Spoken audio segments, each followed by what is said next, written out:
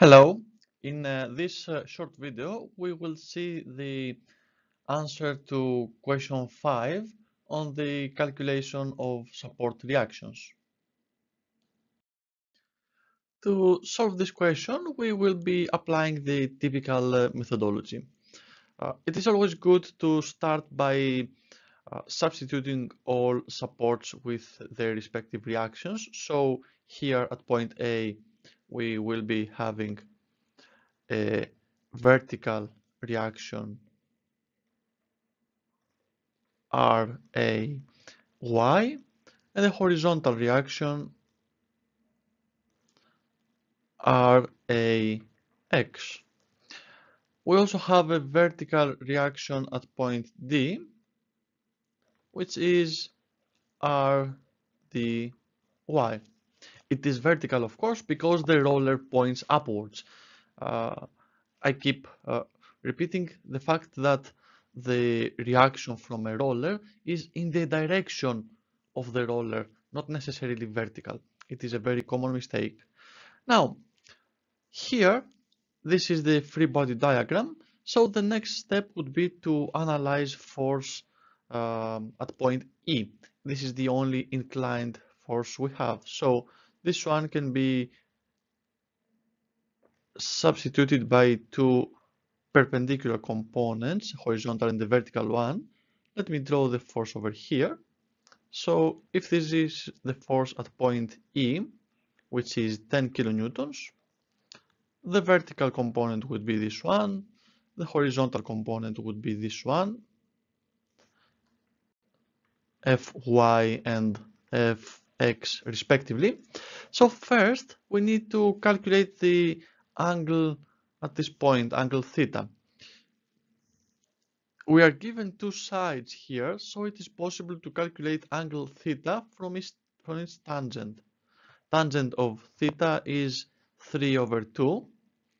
So theta is the inverse tangent of 1.5. This means that angle theta is approximately 56.31 degrees. So since I know that, I can apply it to calculate Fy and Fx. Fy equals the 10 kilonewton force times the sine of angle theta and it can be seen because angle theta is over here. So its sine is the opposite fy over the hypotenuse 10 so if I can solve for that I just get this formula directly. Now to calculate that this will be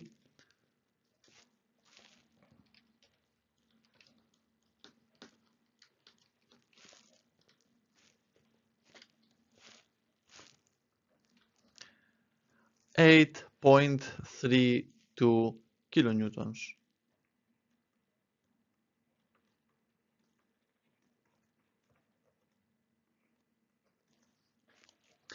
Similarly, I can calculate fx. So fx is the 10 kilonewton force times the cosine of angle theta which I can calculate and it gives us a result of 5.55 kilonewtons. Let me also write this over here, 5.55 kilonewtons and 8.32 kilonewtons. So now I just need to apply the equations of equilibrium. Typically I start with the sum of moments about any point here I will start with the sum of moments about point A. Let's assume that the ones which are clockwise are the positive moments. So let's start with the moment over here, 30 kilonewton meters minus the moment of this horizontal component because it turns it tends to turn it counterclockwise. So minus 5.55 times the distance. Now this is supposed to be uh, at the mid height, so times 3.5 over 2. I have another force that creates a moment about point A, which is the 20 kilonewton force. It's a clockwise, so plus 20 times 5. And I have a third force that creates a moment about point A, which is the reaction RDY. It is a counterclockwise moment, so it is a negative 1 minus RDY times 8 meters. All of them need to sum up to 0. So if I can solve this equation here for RDY, RDY times 8 equals 120.30 so RDY equals 15.04 kilonewtons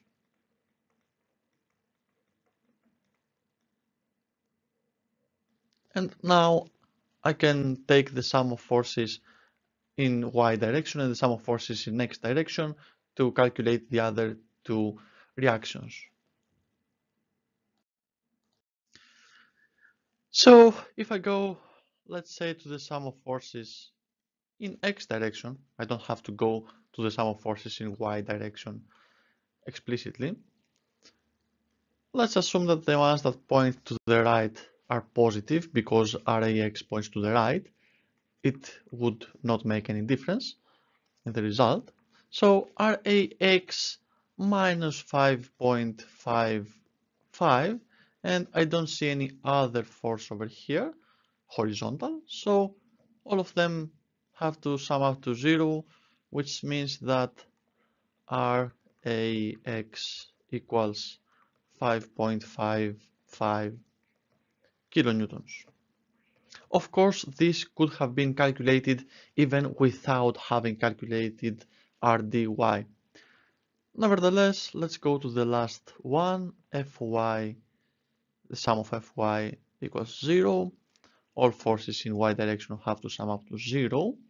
Let's assume that the ones pointing upwards are positive, so RAY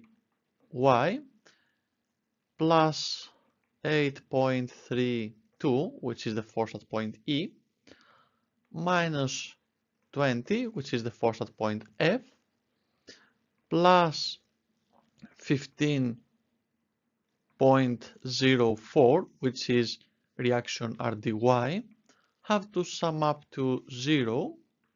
So if I solve for RAY, it is negative 3.36 kilonewtons, meaning that it should be in the opposite direction. But uh, as I keep saying, it is still fine. This answer is acceptable. And if you need to use it, for example, to calculate the internal forces, my suggestion would be to leave it as is and keep the sign as well.